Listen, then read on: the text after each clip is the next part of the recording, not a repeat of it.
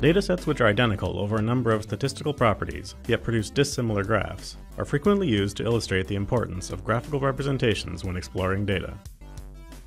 We present a novel method for generating such datasets.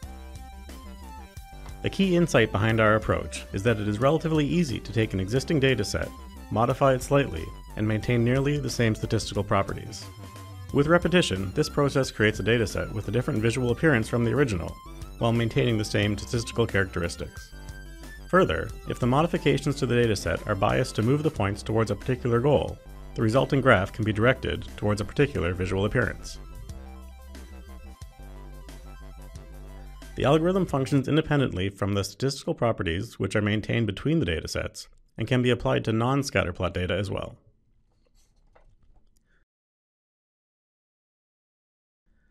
The outputs from our method can be used to demonstrate the importance of visualizing your data and may serve as a starting point for new data anonymization techniques.